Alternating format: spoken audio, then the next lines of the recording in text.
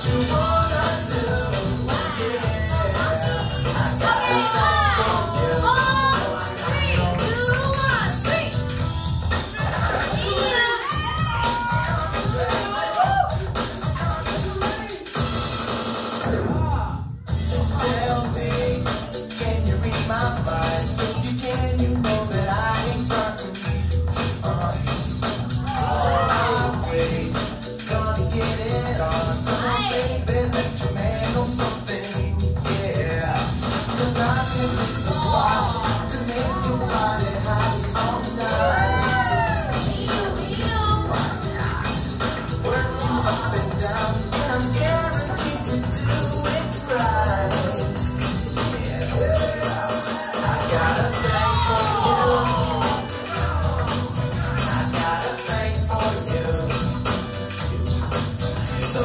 Lord.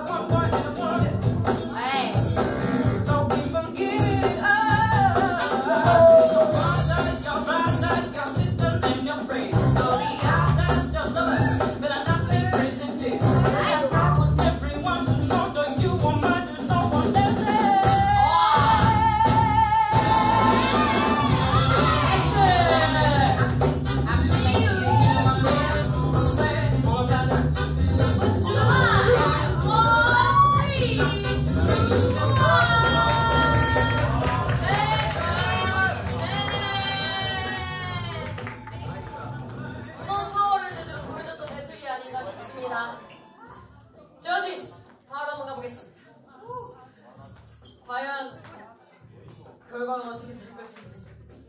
3, 2, 1